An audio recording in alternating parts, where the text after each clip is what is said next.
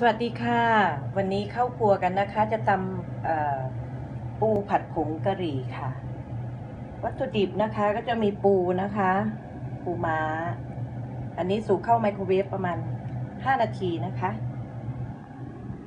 หอมสับค่ะ หอมหัวใหญ่ กระเทียม ไข่ไก่สามฟอง นมสด น้ำมันน้ำพริกน้ำพริกเผานะคะ พริกชี้ฟ้า ต้นหอมผักชี ขึ้นช่ายไม่มีค่ะ แล้วก็ขาดไม่ได้คือผงกะหรี่นะคะ มีน้ำมันหอยนะคะ แล้วก็ซีอิ๊วขาวซีอิ๊วขาวนะคะ เดี๋ยวเรามาทำกันเลยค่ะ